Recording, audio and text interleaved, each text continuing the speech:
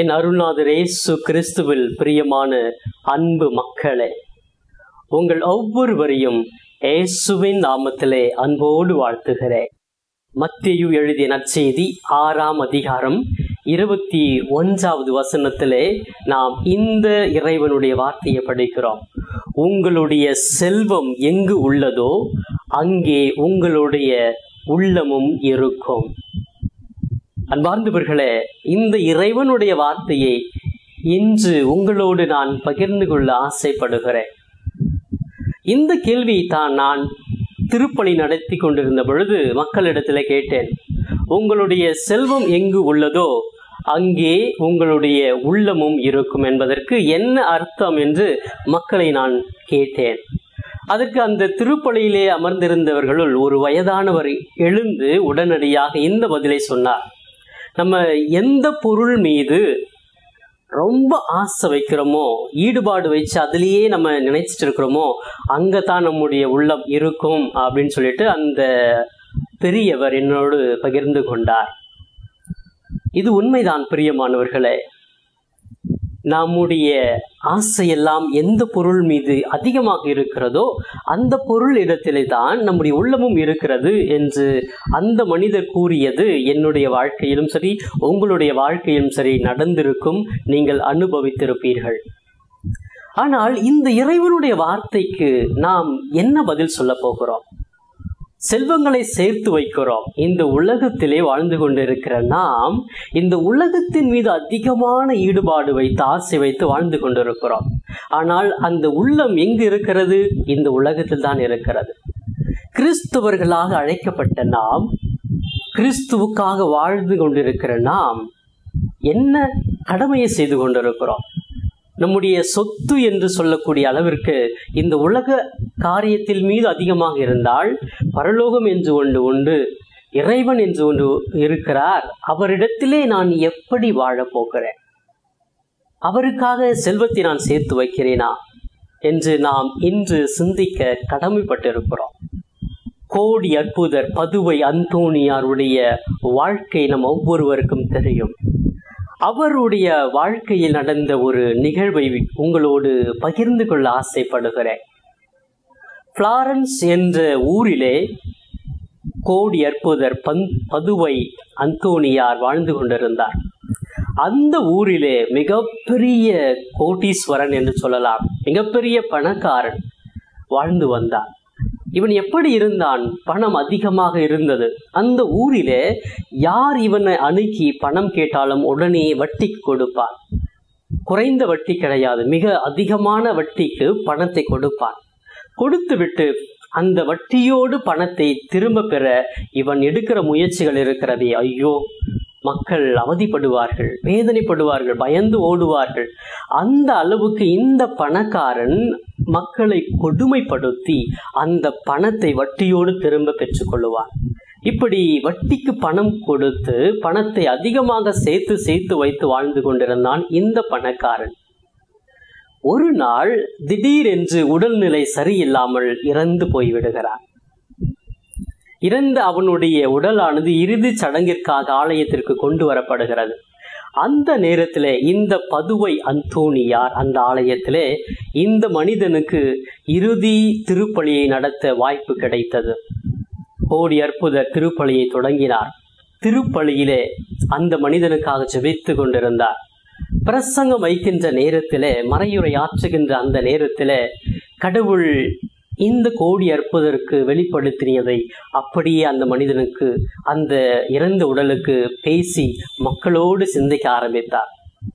கடவுள் அஞ்சு அவருக்கு கொடுத்த வார்த்தை இந்த வார்த்தை தான் நீங்கள் எங்கு செல்வத்தை சேர்த்து வைக்கிறீர்களோ அங்கே உங்களுடைய ஆன்மாவும் இருக்கும் இதயமும் இருக்கும் என்ற இந்த இறைவனுடைய வார்த்தையை வைத்து இந்த இறந்த மனிதனுக்கு பிரசங்கம் ஆற்றுகிறார். அங்கே கூடியிருந்த மக்கள் எல்லாம் வியப்பாக ஆர்வத்தோடு கேட்கிறார்கள். கோடி அற்புதர் இந்த உண்மையை இறைவன் வெளிப்படுத்தியதனால் அந்த மக்களுக்கு சொன்னார். அன்பார்ந்த மக்களே இதோ இன்று நம்மை விட்டு பிரிந்திருக்கிற இந்த பணக்காரன் செல்வங்கள் என்று சொல்லக்கூடிய அளவிற்கு பணத்தின் மீது பொருட்களின் மீது நகைகள் மீது ஆசை வைத்து வாழ்ந்து கொண்டிருந்தான் அவனுடைய செல்வம் என்று சொல்வதற்கு இந்த பணம்தான். எனவே அந்த செல்வத்தின் மீது அதிக ஆசை வைத்து அதிக நாட்டம் கொண்டு வாழ்ந்ததால் இவனுடைய இதயமானது ஆன்மாவானது கடவுளிடத்திலே செல்லாமல் அந்த பண பெட்டியிலே தான் இருக்கிறது என்று சொல்லி மறையுறையிலே இந்த புனிதர் இந்த அருமையான ஒரு சிந்தனையை மக்களோடு பகிர்ந்து கொண்டார். திருப்பலி முடிந்ததும் ஒரு சில மனிதர்கள் நினைத்து பார்க்கிறார்கள். புனித அந்தோனியார் சொல்வது உண்மை.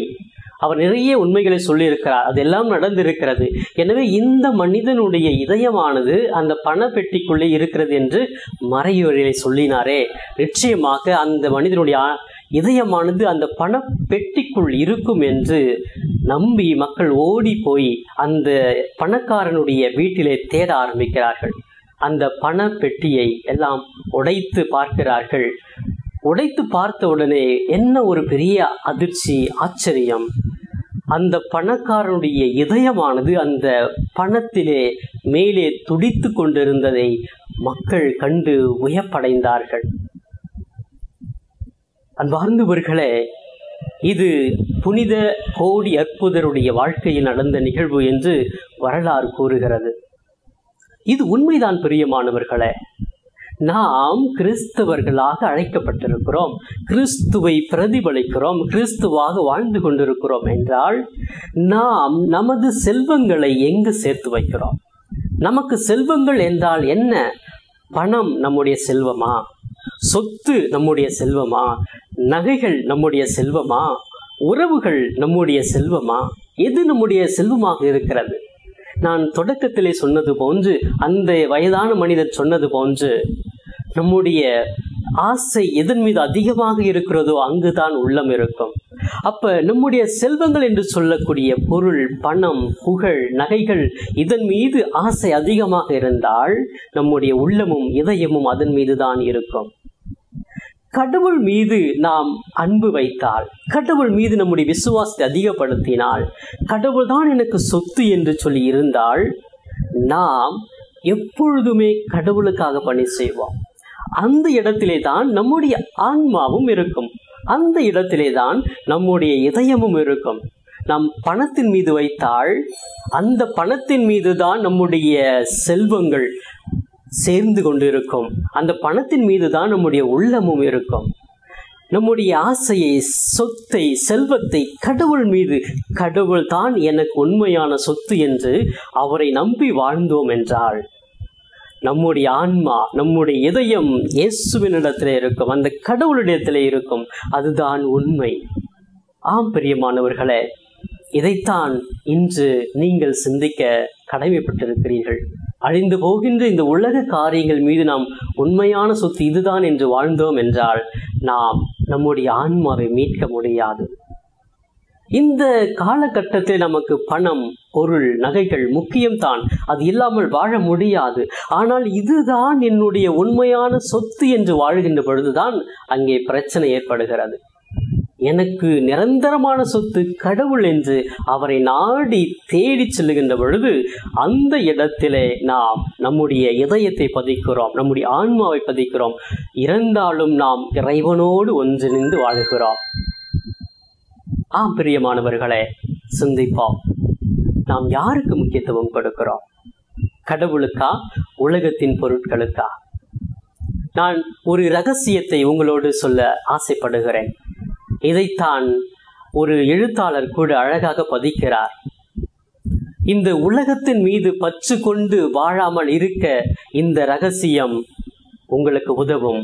நீங்கள் இந்த உலகத்தின் மீது பற்று ஆசை வைப்பதை விட கடவுள் மீது பற்று வைத்து ஆசை வையுங்கள். அப்பொழுது உங்களுடைய செல்வம் கடவுளோடு இருக்கும். அந்த செல்வம் உங்களை மீட்புக்கு அழைத்துச் செல்லும் என்று ஒரு எழுத்தாளன் அழகாக கூறுகிறான். ஆம் பிரியமானவர்களே சிந்திப்போம். ஆண்டவர் நம்மை அன்பு செய்கிறார். நம்மை நேசிக்கிறார். அவர் நம்மை அன்பு செய்கின்ற பொழுது நம்மை நேசிக்கின்ற பொழுது அவர்தான் எனக்கு உண்மையான சொத்து. அவருடைய சொத்து தான் எனக்கு வாழ்வு கொடுக்கும். அவருடைய சொத்து தான் எனக்கு மீட்பை கொடுக்கும் என்று சொல்லி அதன் மீது நம்முடைய ஆர்வத்தை விசுவாசத்தை உண்மையான மகிழ்ச்சியை அதன் மீது வைப்போம். ஆண்டவர் நம்மை ஆசிர்வதிப்பார் நிரந்தர வாழ்வை கொடுப்பார் நிரந்தர மகிழ்ச்சி கொடுப்பார். செய்வோமா?